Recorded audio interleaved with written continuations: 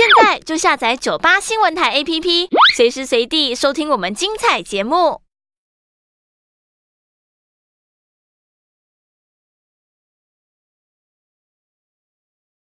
好，各位亲爱的朋友，大家好，我是阮木华。好，这个常常看我们的直播的朋友都会看到说，哎，你这个桌上啊，永远都放一个笔记本啊，哈，你到底在记什么？哈，你这个笔记本里面有什么秘密？哈，今天我们就特别公开，也没啥秘密，就给大家看一下哈。这个笔记本呢，我会记台股、美股，哈，还有一些呃总金的数据啊，跟呃我觉得一些重要的事情啊，这个。都会把它记录在这个笔记本上。那为什么要把它记录在笔记本上面呢？哈，它有个好处就是，呃，我们在主持节目的时候，它可以回翻。哈，当你回翻的时候呢，你就可以很快的知道说，哎，前一天的市场情况，以及呃，或者说前几天啊，甚至前几周市场情况是什么，很快速的可以去。呃，fresh your memory，然后就把你的这个记忆把它唤醒哦，而且呢不会错，为什么？因为白纸黑字写下来的东西绝对没假的啊。那这个是一个好处，因为我们常讲说，现在很多人流行是记在电脑上面，但电脑上面有时候你要去找。很麻烦，再加上呢，其实我这个笔电呢，我都要看现在目前最新的啊一些呃数据的跳动啊，比如说台子期的夜盘啦哈，或者美国的电子期啦，哦这些呢呃都没有办法再去把笔电呢做其他的功能了哈，就会说不方便做其他的功能，所以我都比较习惯哈记一个笔记。那这个笔记呢，我都会把它累积起来，我不会把它丢掉哈，所以呢都可以不断的哈这个呃。呃，在在在这把自己的记忆给唤醒哈。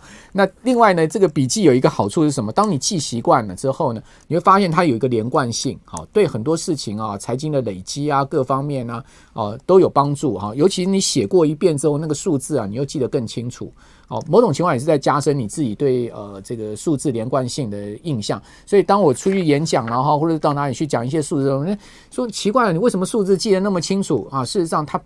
就是呃，这个记笔记的习惯帮助了，同时呃，它也会让我有一些连贯的逻辑啦。哦，那这个是为什么我要去记笔记？那呃，连假这个十二天呢，哈，事实上是八个交易日停止交易哈。那美股的部分我会是继续记，哈，就有一些重大的呃美国的一些呃数据啊，哦，或者包括美股的涨跌幅度啊，哈，它的呃整天的一个表现情况呢，哈，还有另外就是美债。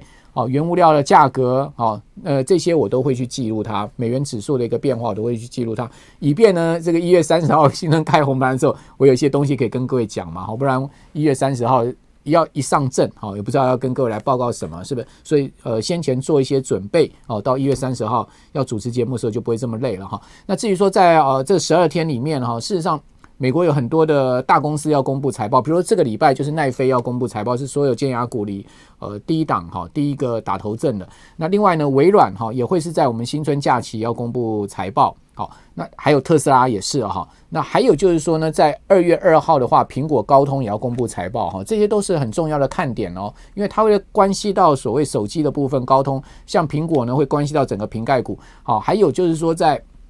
这个微软的部分呢，会关系到整个伺服器 PC 的一个观察点上。那台股呢，在这一些族群上面都有非常多的重量级的股票。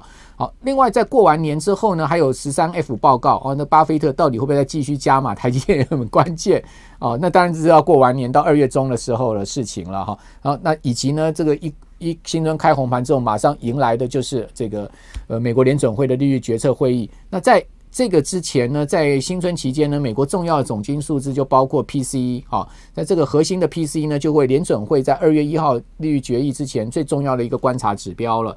好，那这些呢，都会是在新春期间我们可能要稍微去注意的哈。那我到时候也会跟各位在一月三十号这个开红盘的时候来跟各位报告，呃，届时我们就开红盘见了。这段时间我还是会帮各位来做一些功课的。